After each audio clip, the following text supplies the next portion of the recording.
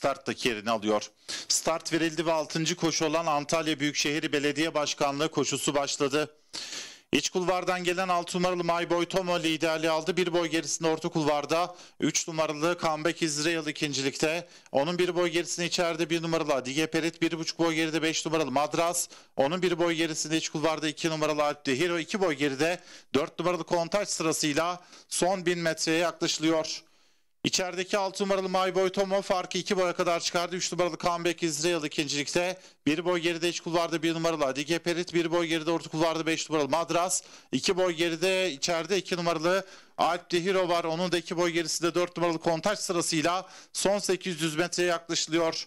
6 numaralı My Boy Toma yine önde fark yine 2 boy kadar orta kulvarda 3 numaralı Comeback Israel ikincilikte 1,5 boy geride. İçeride 1 numaralı Adike Perit hemen dışında 5 numaralı Madras. 2 boy gerinde 2 numaralı Alp onun da 2 boy gerisinde 4 numaralı Kontaç sırasıyla son viraja yaklaşılıyor.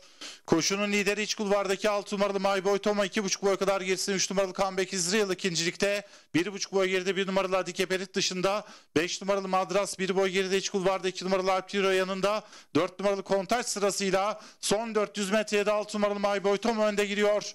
1,5 boy kadar geçse orta kulvarda 3 numaralı Comeback Israel fark azalttı. Şimdi iki safkan arasındaki liderlik mücadelesi 3 numaralı Comeback Israel liderliği almayı başardı. İçeriden tekrar 6 numaralı My Boy Tom'a dışarıdan 5 numaralı Madras. Onun dışından da 4 numaralı kontaç geliyor. Son 100 metre yürürken fark 3 boya kadar çıktı. 3 numaralı Comeback Israel son metrede önde geçiyor.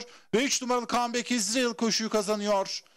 5 numaralı Madras ikinci, 4 numaralı Kontaç üçüncü, 6 numaralı My Boy Toma dördüncü, 2 numaralı Abdi Hero da beşinci oldu. 3 numaralı Comeback Israel, Mertcan Çelik'le 6. koşu olan Antalya Büyükşehir Belediye Başkanlığı koşusunu kazandı.